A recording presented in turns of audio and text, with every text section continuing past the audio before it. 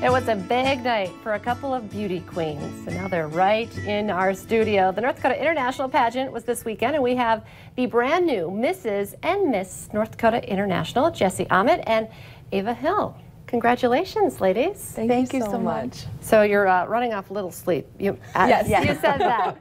but uh, okay, so we talked to a couple of the contestants leading up to this. Uh, talk a little bit about what makes the international pageant system different than some of the others. Our system is unique in that we are platform based, and so we are all about family and service, and we want to make a difference in our community. So each contestant that runs has a platform and a passion for that cause. And, what are your platforms? Yeah. I'll let you go first, Ava. My platform is the Paint Heart Project, Hearts for Hope. It's a suicide prevention organization that's a global organization.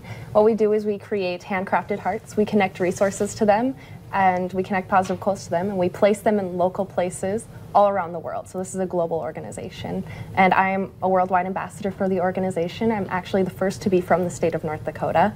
I myself have made 7,000 of these hearts, and I've scattered them in over 11 states. Wow. Yes.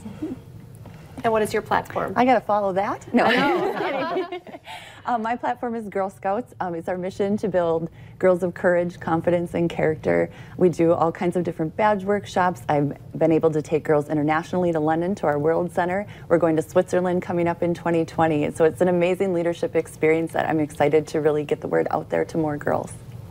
So when you go on these trips, are you doing what to demonstrate leadership with them? We so we we plan, of course, these trips ahead of time. So we've got two years. They have to fundraise the money. Um, nice. They've got to do all of that planning, and we go for a week. And so these girls that I took in London uh, I, this summer, excuse me, we'd never met until we got on the plane to go. And so we get on the plane to go, and they've got to kind of roll with it. 14 to 18 years old, discovered new, you know, flying over the ocean for the first time, discover how to deal with new money, all these different kinds of things. And it was just really neat to watch them blossom. We do a, um, a variety of activities while we're there, educational activities and some fun activities too.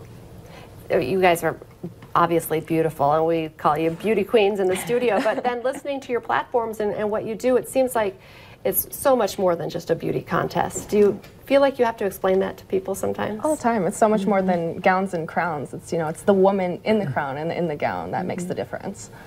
This stuff is kind of just a tool to get our, you know, to get attention so that we can say, hey, look at what we have to offer and look at the great, amazing leadership experiences that we have and what we can do uh, for our communities.